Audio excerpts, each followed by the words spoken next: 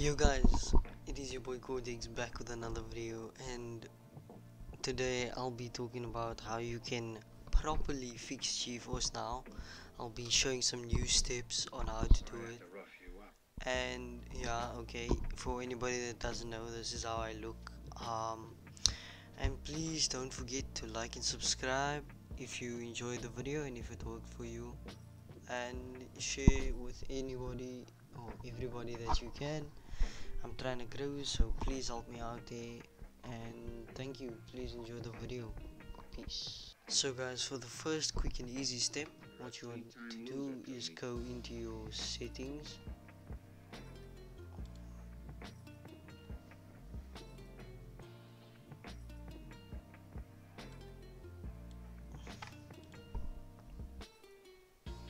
And you want to go to networking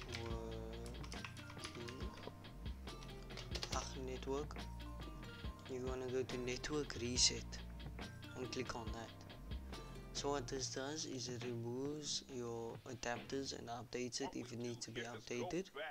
And it takes away all the junk files and everything that's slowing your internet down from your connection from your Wi-Fi router or router however you guys pronounce it to your PC so guys that's the first thing you can do and that's pretty simple you just press restart now it will say okay starting shutting down in a few and then get your PC back up. So guys for the next little part what I will be doing is putting a link in the description. So what you guys want to do is you want to go to the link in the description which will take you to file dropper. And you'll see the URL and the embedded. And what you will say there will be a little button that says download. You want to click on that this will appear and you want to do the little survey or type thing and you want to download it. So there the file is just downloaded. So now what you want to do is you're gonna have to have WinRAR installed on your PC so that you can yeah can have the file. Um what you can do is you can extract the file onto your desktop as you can see there's a raw file so you can just drag it and put it over there on your desktop. Close that out and go on to GeForce Now settings. Go into GeForce Internet options and apply all of these tweaks. So you double click on all of them. It will run it through your CMD and then press any key to continue. Do this for all of them guys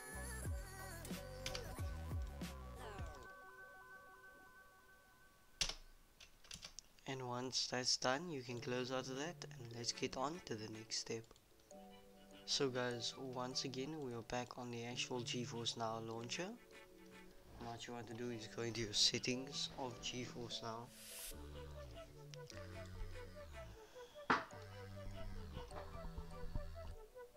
So once you're in your settings you will see all of these settings that you don't know what's going on. Normally you would have it on balance but what you want to do is change it to custom. Mess around with your bitrate while entering um, Fortnite. I suggest turning off these two these three options so VSync unless you want VSync. Network status it shows a little green type thing in the bottom in the left of the screen it's annoying. And just for poor network connections just makes the game look so bad. So if you guys follow the steps in my other video and you saw that I applied a commands to the to the files of GeForce now I messed around with the files. This will appear and you always want to have direct mouse input turned then guys what you can do if you are really really lagging and it doesn't want to work you can switch to 720p which is if you scroll it down you click on here and you can switch to 30 fps it does help but I feel like it will make your game look utter garbage. Another thing is you can change your server location to auto when starting up Windscribe and then when you launch Fortnite it will say okay what's the best server for Windscribe and then you want to change to that server that it says it's best suited for. So guys another thing that I've tested is if you go into GeForce now and you have really good internet you can try putting your internet up to your speed of your internet using speedtest.net and you can just adjust it. And if you put it all the way up and you test your game it should run smoother for some people. So that's another thing you guys can try. And yeah.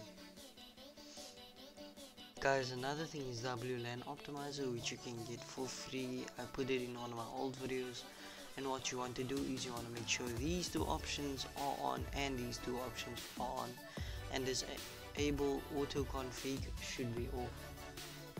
And that's how it should look. It should be connected to your wireless WLAN card. Ah, LAN card.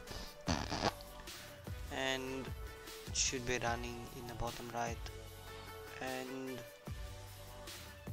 yeah that is WLAN optimizer and as well as timer resolution is also in my old videos. You can go check that out as well. So unfortunately guys that is all I have for you guys today. I have not found any other fixes yet. What you guys can do is you guys can go check out other channels see if they have any better fixes but for now that is all I can provide you guys with. If that does not work then I am really sorry. I will have to go look and search for more fixes and maybe play around with my PC and see what happens. But thanks guys for watching this video. I hope you enjoyed. Don't forget to like and subscribe. Comment if it worked or if it did not work. And I hope you guys enjoy your day